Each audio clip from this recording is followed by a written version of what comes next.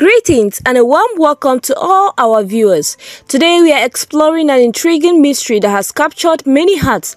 Is there a romance brewing between Xu Kai and Cheng Xiao off-screen? Let's examine the clues suggesting their connection goes beyond professionalism. From cozy dinners to shared movie nights and romantic strolls, their public appearances have sparked curiosity. Their social media is filled with photos showcasing their closeness, often in matching outfits, adding fuel to the rumors. Insiders report frequent off-screen hangouts, including shopping trips, leisurely walks, and even vacations together. Some eyewitnesses have even spotted intimate moments between them, leaving fans wondering about the true nature of their relationship. While the evidence is compelling, it could also indicate a strong friendship and professional camaraderie.